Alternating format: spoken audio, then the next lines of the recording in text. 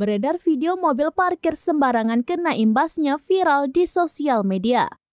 Di dalam video, mobil sedan berwarna hijau gelap terlihat kena getah akibat ulah pemiliknya yang sembarangan memarkir di depan garasi rumah milik orang lain tanpa izin. Tampak sedan berwarna silver yang diduga mobil pemilik rumah menghantam mobil yang parkir tanpa izin di perkarangan rumahnya itu hingga ringsek parah. Video tersebut viral di berbagai platform sosial media. Salah satunya diunggah oleh akun @ndorobay.official pada Rabu 27 September 2023. Dalam narasi unggahannya dikatakan bahwa mobil sedan berwarna hijau gelap terparkir secara sembarangan tepat di depan garasi rumah milik orang lain. Akibatnya pemilik rumah tak bisa mengeluarkan mobil sedannya yang berwarna silver. Sontak saja hal tersebut membuat pemilik rumah jengkel ia kemudian menggeser paksa sedan berwarna hijau gelap itu dengan menabraknya. Sambil berjalan mundur, tampak pemilik rumah dengan mobil sedan berwarna silvernya itu menabrak mobil yang parkir sembarangan tersebut berulang kali. Terdengar suara jeritan wanita diduga pemilik mobil sedan yang parkir sembarangan itu. Ia menjerit meminta pemilik rumah menghentikan aksinya, namun tak digubris. Tampak mobil milik yang punya rumah itu menghantam sedan hijau gelap tanpa ampun.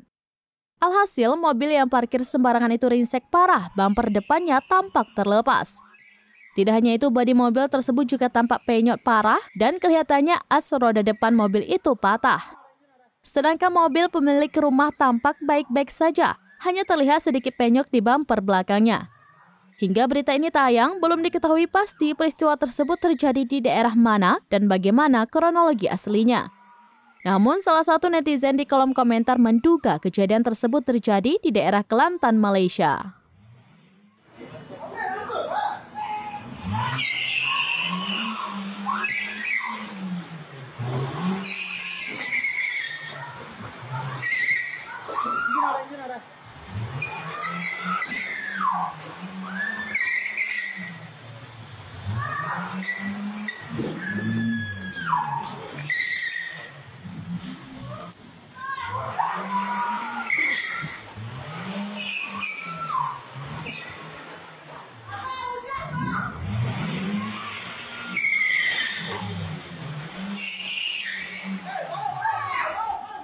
그냥.